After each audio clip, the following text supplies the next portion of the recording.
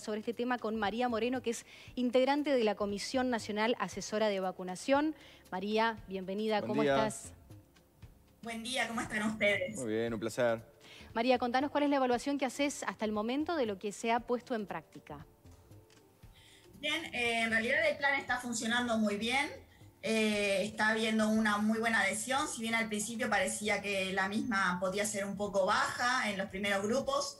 Hay que entender también que los primeros grupos no eran aquellos que tuvieran mayor eh, sensación de riesgo y que además como ser los primeros, romper el hielo a veces cuesta, después uno va agarrando confianza a todo el sistema. Este, y bueno, y en ese sentido se ha ido mejorando mucho, la adhesión ha ido aumentando, de, tanto es así que hemos colapsado las, agendas. Este, y bueno, se está yendo a muy buen ritmo y esperemos que siga. En el interior, María, perdón, María, ¿en el interior eh, la situación es pareja o hay algún departamento que se destaque o alguno que sorprenda por la baja convocatoria?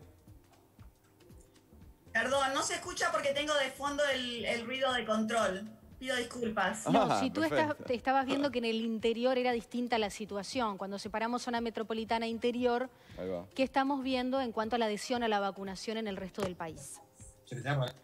Sí, e, es razonable, ¿no? En Montevideo es la capital, es un lugar muy afectado por la pandemia y es un lugar que eso eh, en sensación de riesgo genera mucha adhesión.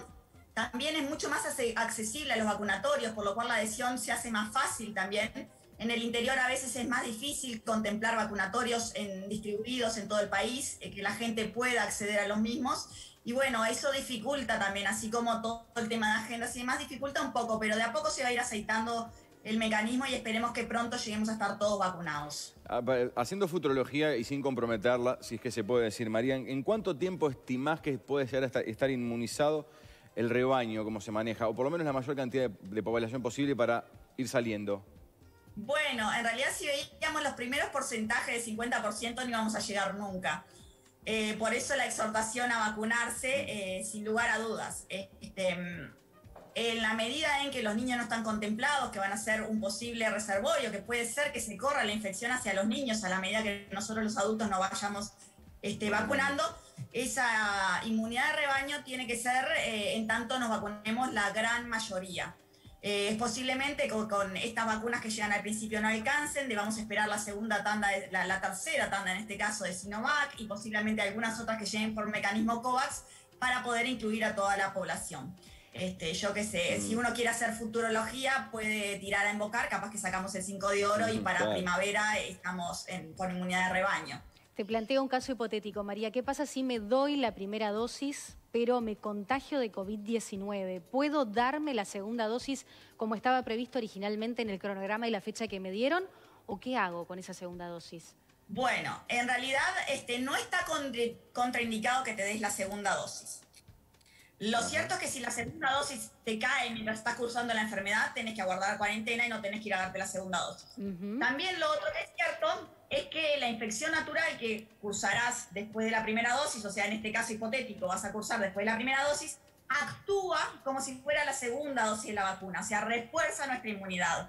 Entonces ahí pasa la segunda dosis a, no ser necesaria. ¿Qué hacemos este, entonces? Esperamos seis meses y no damos la segunda dosis a Perfecto. O sea que si tengo asignada la fecha para la segunda dosis, pero me contagié COVID-19 después de la primera dosis, espero, dejo pasar seis meses y entonces tendría que volver a darme la segunda. Sí. Ya el solo hecho de la infección te protege por unos cuantos meses, por eso estamos este, manejando la información de que aquellos que están infectados esperen seis meses para vacunarse, para poder también permitir el acceso de vacunas a otras personas que no están nada protegidas. Y en este caso tú vas a tener una primera inmunización más la, infección natural, o sea que tu sistema inmune va a estar realmente potenciado, así que podés estar tranquilo que vas a estar cubierto. Bien, te hago dos en una, María. ¿Qué, se sabe cómo está llegando la cepa brasileña, que es la que decían que venía más complicada? Y también si las vacunas que se están dando en Uruguay cubren esa cepa.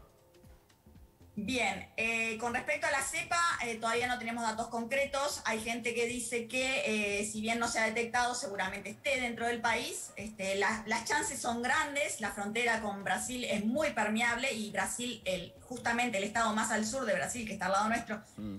hay mucha circulación de la misma, por lo cual es probable que en los próximos días la podamos encontrar. Con respecto a la, a la cepa P1 hay muy poco dato. Hay mucho más dato con respecto a las cepas de, de Reino Unido o de Sudáfrica. Y en estos casos, en algunos casos, la vacunación desciende un poco la efectividad y en otros desciende drásticamente y bueno, eso habrá que considerarlo. ¿Hay alguna contraindicación, María, para mujeres embarazadas o que están eh, dando de amamantar? Eh, no, en principio, este, si, la, si la persona embarazada o dando de amamantar está, tiene alguna comorbilidad, o sea que es una población de riesgo, o está muy expuesto, se recomienda este, la vacunación sin lugar a dudas. En el caso de las amamantadas, más aún, porque este, podrían pasar anticuerpos a través de la leche al niño ese que no va a estar protegido, o sea que también eh, podría ser muy recomendable vacunarse este, a las mm, madres que están amamantando. Y bueno, en los últimos casos, en los últimos datos nos dicen también que las mujeres embarazadas están pasando anticuerpos a los bebés, o sea que también por ese lado puede haber un buen punto, este, como se hace, con, por ejemplo, con la vacuna de la gripe, de estimular a las mujeres embarazadas a vacunarse. Bien, ¿y hay alguna contraindicación para pacientes oncológicos, cardíacos, diabéticos, por ejemplo? No, la única contraindicación es la de Pfizer para casos de reacciones de anafilaxis, o sea, reacciones alérgicas severas del tipo de anafiláctico, ese tipo que, que, es inmediato y exacerbado. Este, y en el caso de la, la, vacuna de Sinovac, que es una vacuna inactivada, para algún antecedente previo de alergias a este tipo de vacunas. Bien. María, un... Todo lo contrario, se recomienda la vacunación, especialmente en aquellos pacientes cardíacos, aquellos pacientes oncológicos, porque son población de riesgo. Se ha hablado muchísimo del factor temperatura para la conservación de las vacunas, para que no se echen a perder mm. después de que llegan. ¿Qué pasa con este cambio de temporada que se nos está yendo el verano, que nos estamos arrimando al otoño? ¿Puede haber algún riesgo porque cambia la temperatura? No, para nada, porque las vacunas están siendo refrigeradas, o sea que en ese caso se irán refrigeradas y si baja la temperatura favorece aún más todo lo que es el traslado y demás de forma refrigerada. Bien, y con la vacuna de AstraZeneca, ¿no? que eh, eh, fue toda una pelotera en Europa, se suspendió en varios países por los efectos secundarios, sobre todo lo de los coágulos. Y la primera camada se retiró del mercado, ¿no? Claro, después la OMS dijo, no, sigan dando, que no hay riesgo. Eh, ¿Sigue siendo una vacuna segura, por más que por ahora no, no la tenemos acá? Sí, es una vacuna segura. De hecho, la OMS se expidió hace dos días diciendo que era segura, que no había relación con los trombos observados. Y ayer este, la EMA, o sea, la Agencia Europea de Medicamentos, también se expidió en el mismo sentido. Y están los países retomando la vacunación. Alemania e Italia creo que lo hacían hoy, España lo hacían los próximos días. Se están retomando la vacunación con este, AstraZeneca. Es decir, hay que decir bien esto porque es claro que en la medida que cada, nos vamos vacunando más, por ejemplo en Uruguay solo en un día 30.000 personas, ¿qué posibilidades hay de que esas 30.000 personas simplemente les ocurra algo porque la vida misma, se hubiesen vacunado o no, los hubiese llevado a cursar algún tipo de evento y demás? Entonces esas casualidades empiezan a darse porque son millones y millones de personas vacunadas diariamente y está bien parar y analizar y está bien porque da seguridad a que se están haciendo las cosas bien, pero no hay que generar alarma en este sentido. La vacuna de AstraZeneca en este sentido demostró, se paró, se analizó y demostró que no había correlación con los trombos y bueno, ahora se siguen las vacunaciones en esos países y seguramente en Uruguay este, a finales de abril o en mayo. Y cuando llegue esa vacuna, ¿va a ser aplicada a la franja etaria entre los 71 y los 79 años, María? Eh, sí, eh, para los mayores de 70 sí, que son las Pfizer y esta vacuna son las recomendadas para ellos. No va a haber opción de elegir, se va a designar como se ha hecho hasta ahora. No, exactamente. Bien. Exactamente. Y María, por el momento tenemos noción, capaz que eh, sigue sin haber estudios al respecto, ¿no? Pero ¿cuánto va a durar la efectividad de la vacuna? ¿Ese será semestral, anual como la gripe? Eh, ¿Cada cuánto tendremos que vacunarnos? ¿Hay algún estudio de esto ya? No, no hay estudios, no lo sabemos. Estamos seguros que los seis meses van a ser. Por suerte van, este, otros países van a la cabeza aplicando masivamente y los estudios fase 3 que se realizaron también nos llevan unos meses de anticipación, nos van a ir tirando datos en la mm. medida que vayamos avanzando en el tiempo. Este, es posible, sí, y realmente no lo, no lo eliminamos, una posible revacunación, no solo quizás para bustear el sistema inmune más adelante, sino quizás también para contemplar este ingreso de nuevas variantes que tengamos que de alguna manera reforzar nuestro sistema inmune un poco dirigido hacia estas nuevas variantes que entren. Entonces es algo que sí tenemos en, en miras y lo estamos analizando, es posiblemente sí. María, ¿hay chance de que Uruguay en algún momento produzca vacunas? Bueno, Uruguay produjo sus vacunas, de hecho el departamento donde yo trabajo era donde se producían las vacunas en los años 70 y hasta los años 80, el Departamento de Desarrollo Tecnológico el Instituto de Higiene, aquellos que se vacunaron en los años 70 con la antitetánica y algunas otras eran producidas en Uruguay.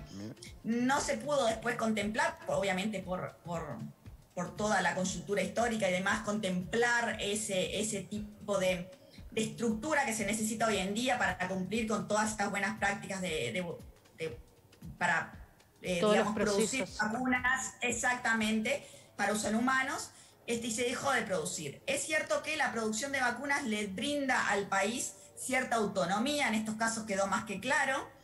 Es cierto que las vacunas están siendo un fármaco muy demandado, o sea que económicamente pueden ser rentables, igual que otros biológicos, ¿no? Y se podría pensar este, el hecho de poder producirlos, pero bueno, es todo un área a analizar realmente si Uruguay, un país chiquito, lo necesita y posiblemente si lo llegase a necesitar también tendría que ver eh, perspectivas de poder también eso venderlo a países cercanos y demás. Para el COVID descartado.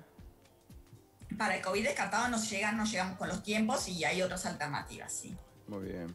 Muy bien. Bueno, María Moreno, integrante de la Comisión Nacional de Asesora de Vacunación, muchas gracias por la nota y su tiempo. ¿eh? Por favor, a ustedes. que tengan muy buen día. Que pase muy bien. Y a cuidarse. Muchas gracias. A cuidar.